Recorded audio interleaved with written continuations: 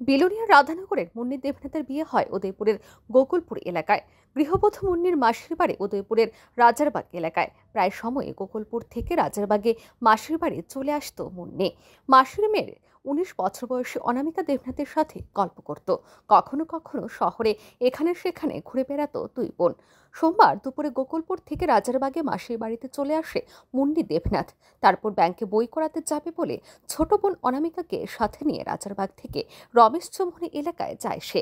এরপর থেকে দুই বোনের আর কোনো খোঁজ পাওয়া যায়নি। দুপুর গড়িয়ে বিকেল বিকেল গড়িয়ে সন্ধে হয়ে গেলেও দুই বোন বাড়ি ফিরে না আসায় পরিবারের অন্যান্যদের মধ্যে উদ্বেগ বাড়তে থাকে। শুরু হয় এদিক ওদিক ও আত্মীয় স্বজনের বাড়িতে খোঁজাখুঁজে। কিন্তু সন্ধ্যা রাত পর্যন্ত দুই বোনের কোনো খোঁজ না পাওয়ায় পরিবারের পক্ষ থেকে রাতে উদয়পুর মহিলা থানায় বিষয়টি জানানো হয়। মঙ্গলবার উদ্বিগ্ন দুই পরিবারের লোকজনেরা পুনরায় উদয়পুর মহিলা থানায় ছুটে আসে। এদিন মহিলা থানায় বসে রাজারবাগ এলাকা থেকে নিখোঁজ অনামিকা দেবনাথের মা পূর্ণিমা দেবনাথ সাংবাদিকদের মুখোমুখি হয়ে এই সংবাদ জানান।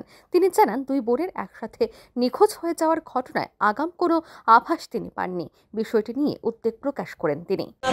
কালকে ব্যাংকে গেছে, বই করানোর লেগে, ব্যাংকের বই করানোর লেগে, আমার বোনজি আমার মেয়েরে লইয়া গেছে গেছে করে এবারে এই দিকের থেকে আর বাড়িতে আইসে না বাড়িতে আইসে না এবার আমরা খোঁজাখুঁজি করতেছি আর ভাইতাছি না এবার আমরা থানাতে আইসে থানাতে আমরা জানাইছি কোন জায়গা থেকে মানে কোন জায়গা থেকে কোন জায়গায় যেতে তুলেছিল? এই রাজার বাজার থেকে রমচুমনি গেছে। আচ্ছা তাদের বয়স কেমন হবে? একজনের উনিশ বছর আর একজনের একুশ বছর। অনামিকার একুশ বছর আর মুন্নির উনিশ বছর। এই গোটা বিষয়টা আপনার কাছে কি মনে হয়? আমার তো তো লাগে না তারা কেউ লোকে দিয়েছে অনেকে তারা নিশ্চয়ই ষড়যন্ত্র করে নাকি তা অন্ত আমি কইতাম পারতেছি না এমন আমার জানার নাই কেউ লোকে যাই। বোঝায় আমি জানি না। আচ্ছা এই কোনো কি এই বিষয়টা নিয়ে কাউকে সন্দেহ হয় বা কিছু? না এমন সন্দেহ আমার কাছে নাই। যারা নিখোঁজ হয়েছে তার নাম কি? তার নাম একজনের নাম অনামিকা দেবনাথ একজনের নাম মুন্নি দেবনাথ। বাড়ি কোনখানে? রাজারবাগ?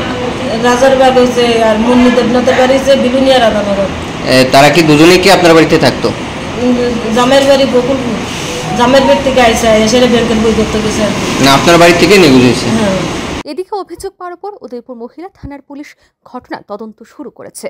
বিভিন্ন থানার এবং রেল স্টেশনের আধিকারিকদের কাছে নিখোঁজ দুই মহিলার ছবি পাঠানো হয়েছে। দুই মহিলার রহস্যজনক অন্তর্ধান ঘিরে উদয়পুরের রাজারবাগ এলাকায় জনমনে তীব্র চাঞ্চল্য ছড়িয়েছে। একসাথে দুই মহিলার নিখোঁজের ঘটনার সাথে প্রণয় সংক্রান্ত কোনো যোগসূত্র থাকতে পারে বলে বিভিন্ন মহলের অভিমত। রিপোর্ট আর ই নিউজ।